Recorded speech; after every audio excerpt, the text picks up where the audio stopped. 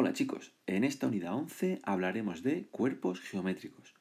Conoceremos los diferentes tipos de cuerpos que podemos encontrar y aprenderemos a hallar el área de cada uno de ellos. ¿Estáis preparados? Pues empezamos. En primer lugar, debemos saber que los cuerpos geométricos se forman a partir de las diferentes posiciones que rectas y planos adoptan en el espacio. Por ello, a modo de introducción, estudiaremos las diferentes posiciones relativas que estos dos elementos pueden adoptar, como son las rectas y los planos. En primer lugar, veremos las posiciones relativas de dos planos.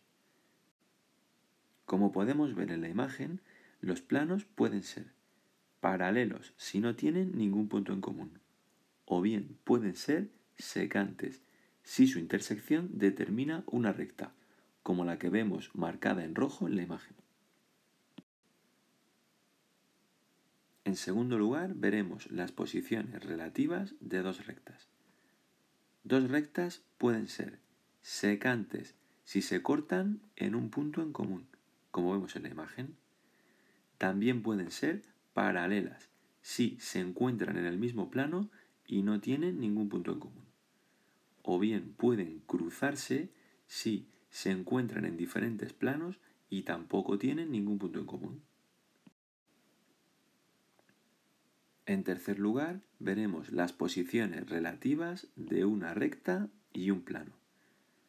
Ambos elementos pueden ser de tres tipos, es decir, que la recta sea paralela al plano y no tengan por tanto ningún punto en común, como vemos en la imagen también pueden ser secantes, es decir, que recta y plano se corten en un punto. O bien, en tercer lugar, podemos hablar de recta contenida en el plano. En este caso, todos los puntos de la recta pertenecerán también al plano. Bien, ya conocemos las diferentes posiciones relativas que rectas y planos pueden adoptar en el espacio y que por tanto determinarán el correspondiente cuerpo geométrico. Si os habéis fijado, los puntos de intersección determinarán los vértices de ese cuerpo. Las rectas determinarán por su parte las aristas de esos cuerpos. Y por último, los planos determinan las caras de ese cuerpo geométrico. Y es a partir de estos cómo se formaría cada uno de los diferentes cuerpos geométricos. Si os parece, analizaremos en detalle cada uno de ellos. En primer lugar, hablaremos de los poliedros. Un poliedro es un cuerpo geométrico limitado por caras en forma de polígonos. Como podemos ver en la imagen, estos serían cada uno de sus elementos como hemos comentado, estaría determinado por vértices, arista y cara. Además de estos, también podemos encontrar diagonales de cara o diagonales del poliedro. ¿Y qué tipos de poliedros podemos encontrar? Pues bien, podemos diferenciar principalmente dos tipos. Por un lado, los poliedros convexos, que serán aquellos en los que, cuando prolongamos una cara cualquiera, ésta no va a cortar al poliedro en ningún momento, como podemos ver en la imagen, marcada en amarillo. Este sería un ejemplo de un poliedro convexo. Y por otro lado, los poliedros cóncavos, que serían aquellos que tienen alguna cara que, al prolongarla, cortaría el poliedro. En la imagen podemos observar cómo la cara que aparece en color amarillo, si es prolongada, cortaría el poliedro. Sería por tanto un ejemplo de poliedro cóncavo. Además, debemos saber que en el caso de los poliedros convexos, todos ellos cumplen la denominada fórmula de Euler, que dice que el número de caras más vértices será siempre igual a su número de aristas más 2.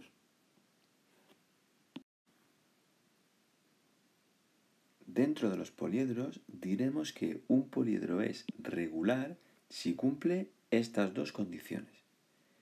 La primera es que todas sus caras sean polígonos regulares iguales. Y la segunda, que en cada vértice concurran el mismo número de aristas. Si un poliedro cumple estas dos condiciones, diremos por tanto que se trata de un poliedro regular. ¿Y qué poliedros regulares conocemos? Pues bien, solamente existen cinco poliedros regulares, que serán los siguientes. Uno de ellos es el tetraedro, formado por cuatro caras que serán triángulos equiláteros. Otro será el cubo, formado por seis caras que en este caso serán cuadrados. Otro es el octaedro, formado por ocho caras, en este caso formado también por triángulos. Otro sería el dodecaedro, formado por doce caras que serían pentágonos regulares. Y por último encontramos el icosaedro, formado por un total de 20 caras, todas ellas triángulos equiláteros. Estos cinco poliedros serían los únicos poliedros regulares que existen. ¿Y qué tipos de poliedros podemos encontrar? Pues bien, vamos a ver en detalle cada uno de ellos. En primer lugar, hablaremos de los prismas. Un prisma es un poliedro que tiene dos caras iguales y paralelas entre sí, a las que llamamos bases, siendo el resto de ellas paralelogramos. ¿Y qué elementos podemos encontrar en un prisma? Pues bien, podemos diferenciar las siguientes partes.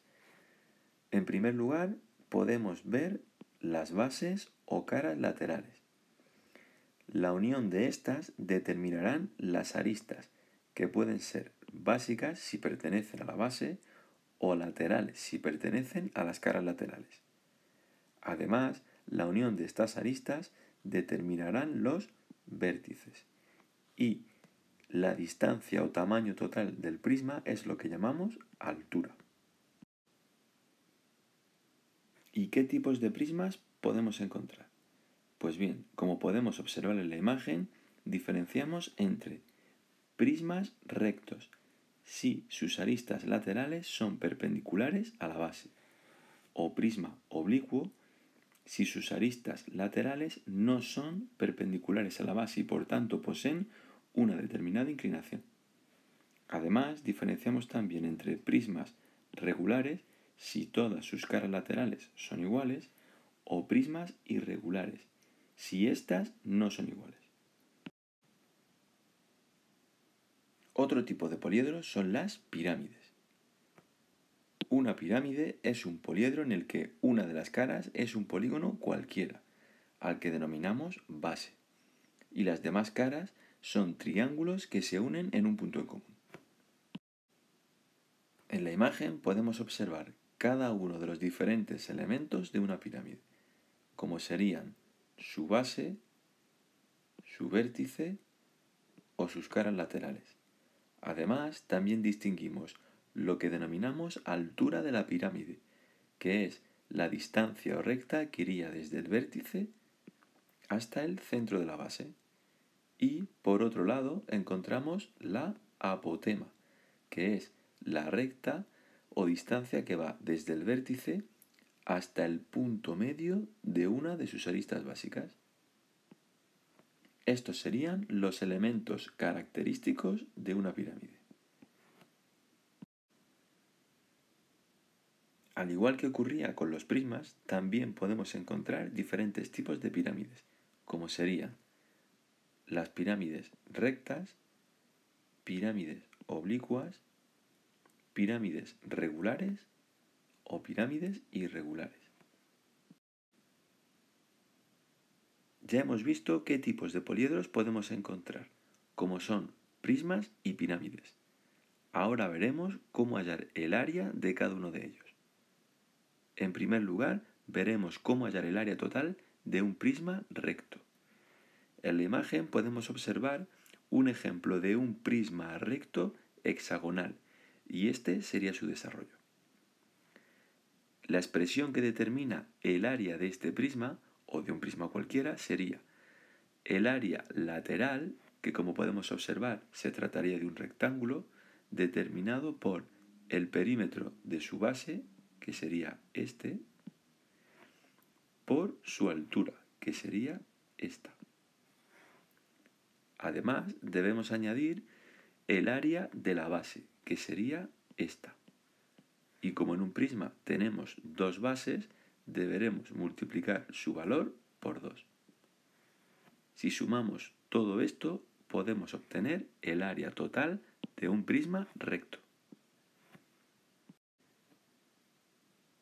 Ya hemos visto cómo hallar el área total de un prisma recto. Veamos ahora cómo hallar el área de una pirámide regular. En este caso, el área de una pirámide será igual a el área de su base más el área lateral. Sus caras laterales sabemos que serán triángulos, es decir, base por altura entre 2, multiplicado por el número de caras laterales que tenga en cada caso. Esto significa que el número de caras por la base de cada uno de esos triángulos será igual al perímetro de la base. La altura de cada triángulo será igual a la apotema y todo ello entre 2. Esto nos permitirá hallar el área lateral. Además, deberemos sumar a esto el área de la base, que puede ser cualquier polígono. En este caso, como podemos ver en la imagen, sería el desarrollo de una pirámide de base pentagonal.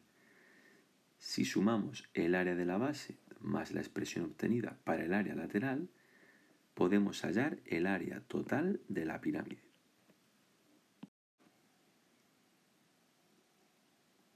Además de los poliedros, otros tipos de cuerpos geométricos serían los denominados cuerpos de revolución. Un cuerpo de revolución es un cuerpo geométrico que se obtiene a partir de una figura plana que gira alrededor de un eje se llamará altura del cuerpo a la longitud de dicho eje. ¿Y qué tipos de cuerpos de revolución podemos encontrar? Pues bien, distinguimos principalmente tres tipos, como son el cilindro, el cono y la esfera. Veamos en detalle cada uno de ellos. El cilindro es un cuerpo geométrico generado a partir de un rectángulo que gira alrededor de uno de sus lados. Como podemos ver en la imagen, a partir de esta figura geométrica, el rectángulo en este caso, girado alrededor de uno de sus lados, que actuaría como eje de giro, su revolución daría lugar a la formación del cilindro. Otro tipo sería el cono que se trata de un cuerpo geométrico generado en este caso a partir de un triángulo rectángulo que gira alrededor de uno de los catetos. Como podemos ver en la imagen, a partir de un triángulo rectángulo que gira alrededor de uno de los catetos que actuaría como eje de giro, su revolución daría lugar a la formación del cono.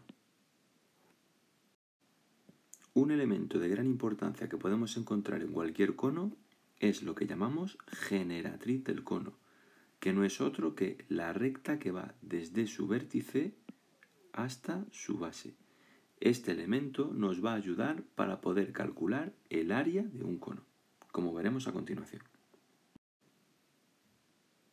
Por último, encontraríamos la esfera, que se trata de un cuerpo de revolución engendrado por un semicírculo que gira sobre su diámetro. Como podemos ver en la imagen, a partir de un semicírculo que gira sobre su diámetro, actuando este como eje de giro, la revolución de esta figura nos daría lugar a la esfera. Ya hemos visto qué tipos de cuerpos de revolución podemos encontrar. Veamos ahora cómo hallar el área total de cada uno de ellos. En primer lugar, veremos cómo hallar el área de un cilindro. El área de un cilindro será igual a su área lateral, que será un rectángulo, de base longitud de la circunferencia, 2pi r, por altura del cilindro por h. A eso habrá que sumarle el área de su base, que será un círculo pi r al cuadrado. Y como tenemos dos bases, deberemos multiplicarlo por 2. La suma de todo ello nos da la siguiente expresión. 2 pi r por, entre paréntesis, h más r. Este valor nos permitirá hallar el área total del cilindro. Ahora veremos cómo hallar el área total de un cono. El área de un cono será igual a su área lateral más el área de su única base. El área lateral podemos hallarla mediante la expresión pi por generatriz al cuadrado por 2pi r entre 2pi generatriz, más el área de su base, que como es un círculo será pi r al cuadrado. La suma de todo ello nos permite obtener la expresión. Simplificando, podemos obtener que el área lateral será igual a pi por radio por generatriz y el área de la base será igual a pi r al cuadrado. Sacando factor común de pi y de r, nos queda la siguiente expresión. Pi por r, entre paréntesis, g más r. Esta será la expresión simplificada que nos permitirá hallar el área total de un cono. Por último, si queremos hallar el área total de una esfera, deberemos utilizar la siguiente expresión. Área de la esfera es igual a 4pi r al cuadrado. Como podéis ver, para hallar el área de cualquier esfera, simplemente deberemos conocer el valor de su radio. Y hasta aquí la unidad 11. Si os parece, seguimos practicando en clase.